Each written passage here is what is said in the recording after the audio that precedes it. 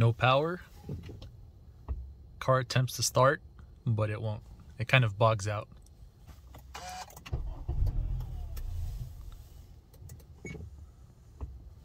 Interesting. The car will kind of start, but then it turns off.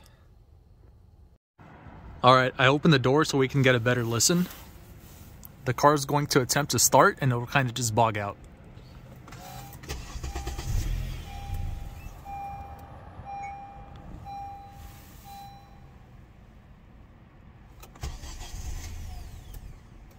Okay, so after about the sixth, seventh try to try to start the car on, it kind of turned on, bogged a little bit, and then now it stayed on. So we're gonna see the codes flashing. When this occurred three weeks ago, my diagnostic tool told me that this is a throttle body code. So I'll show you guys again to see what that code is. All right, I'm gonna be plugging in the OBD scan tool. And to locate where to plug this in, it's going to be on this left driver side. And by the way, you guys have a TPMS recalibrate button here if you didn't know. But looking down here on this far left side, you'll see it right there. Now that it's daytime, I'm going to show you guys how to quickly locate where to plug in.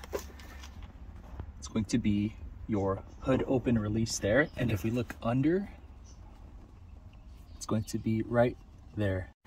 All right, so just a better look. I have it plugged in there. And again, it's right here.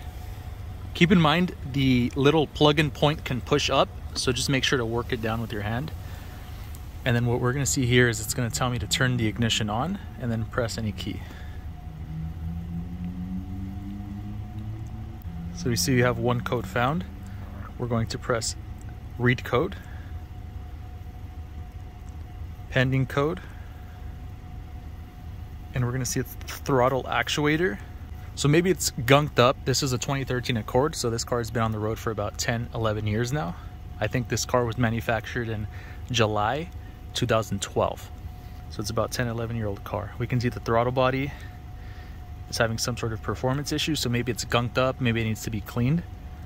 But there you have your code, which is P101, generic. So then what I could do is press exit, exit, exit, exit. It's gonna say erase codes, enter, and we're gonna see that it's gonna tell me erase failure, turn key on with engine off. So let's hope the car starts up after this.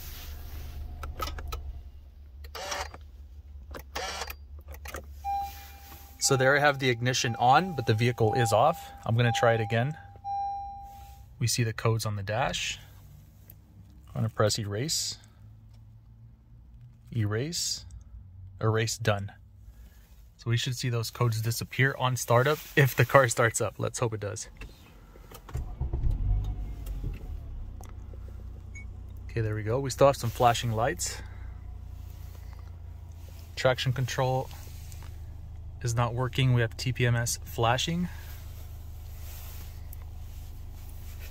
Let me try to read codes while I still have you guys plugged in here. Pending codes. Again, I'm still having that code come up.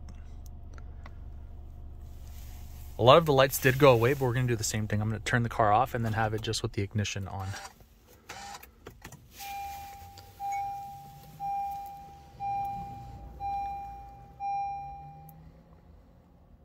Right, let's see if I have pending codes. Okay, exit. I'm going to try again to erase codes. Erase done. We still see that there's a flashing light there. So again, this has happened twice now in about a month. The first time happened about a month ago, and then it's happening today as well. Let's see if I start the car.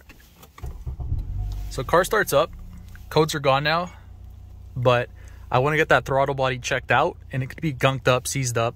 I'm probably just going to take it in to do that one. Um, it's a little finicky to get that valve opened and cleaned. So I'm probably just gonna take it in. For that throttle body or throttle actuator code we're getting, we can see here, we have the airbox. And we're gonna have it right around here. Is where we have our throttle body, our throttle actuator code. It's right in there. So basically, I'm going to take it into the mechanic. I'll have him do this as well because I already have the car in here for the valve cover gasket and the valve is getting adjusted. So what he's probably gonna do is just remove this air hose and then try to clean it maybe with some solution, some carb cleaner, something along those lines. And he'll probably diagnose it. This is something I can mess with myself, but since I already have the car in here for this service, I'll have him look at that. So I'll let you guys know how that goes. So yeah, that's how you clear the code with this OBD scan tool. It's a temporary fix, and again, the car could do that at any point again, but at least the car's starting. We know it's probably not a starter issue, it's not a battery issue, it's probably just the uh, throttle body that's not opening, or maybe it's, it's struggling to open up. So I'm going to take that in, have some local mechanic clean it up. Hopefully that fixes the issue. But for those of you that are getting that code or a wonky start, you guys heard it in the video, hopefully, that it kind of wants to start up and then it'll bog and turn off. Looking under the hood with the engine off, you're going to see the airbox here. You follow this along and from the top view you can see it right here.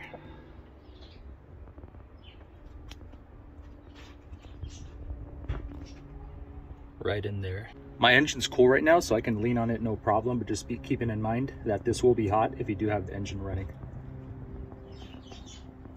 So I did get that cleaned. You can see some of the gunk there.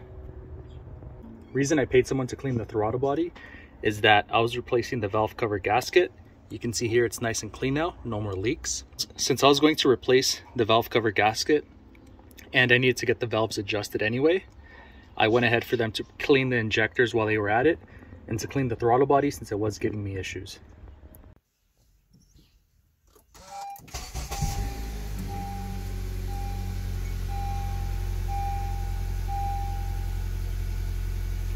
With that said, let me know if you guys are having the same issue or you're having this problem or you learned how to resolve this with your own experience. Have a great day. Have a great evening. Striker out.